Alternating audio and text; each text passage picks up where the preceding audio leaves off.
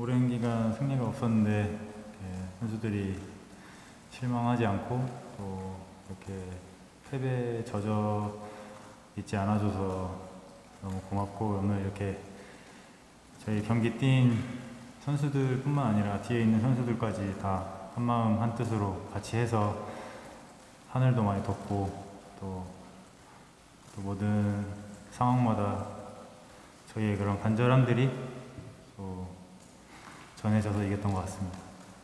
제가 오기 이제 와서 순위가 어떻게 하다 보니까 경기도 못 치르고 해서 좀 최하위에 머물러 있었는데 제가 느끼기에는 절대 최하위에 머물러 있을 스쿼드가 아니라고 생각이 들었고요. 그냥 의심하지 않았습니다. 그냥 저희 선수들을 믿고 운동도 더 재밌게 하고 그러다 보니까 오늘처럼 또 좋은 결과가 이어져서 감사하게 생각하고 있습니다.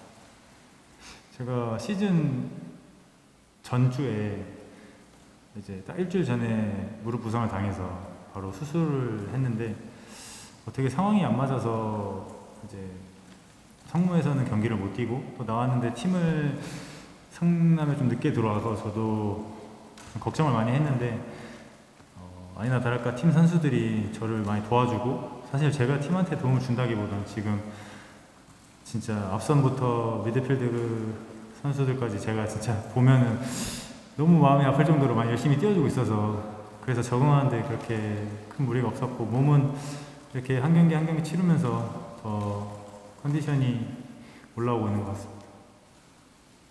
어, 제가 일단 선수 신인 때 선수로서 선수 대 선수로서 만났던 그때와 지금 이 선수와 이제 감독 선생님으로 이렇게 지내는 거에 대해서 그냥 너무 진짜 너무 감사합니다. 그냥 이렇게 불러주셔서 감사하고 또 제가 또 여기 올 수 있게 된 거에 대해서 또 감사하고 그냥 여러모로 다 감사하게 생각하고 있습니다. 일단 가장 첫 번째 가까운 거로 봤을 때는 포항이랑 연전이었고 이 한 팀에 두 번 진다는 거는 정말 선수로서 좀 받아들이기 힘든 부분이라고 생각이 들어서 오늘은 정말 어떻게 해서라든지 이기고 싶다. 그 선수들도 다 그런 마음이었던 것 같아요. 그래서 다행히 한 마음 한 뜻이 되어서 네. 오늘은 그 절대 연패는 하지 말자 한 팀에 그런 걸좀 가슴속에 두고 뛰어서 좋은 결과가 있었던 것 같습니다.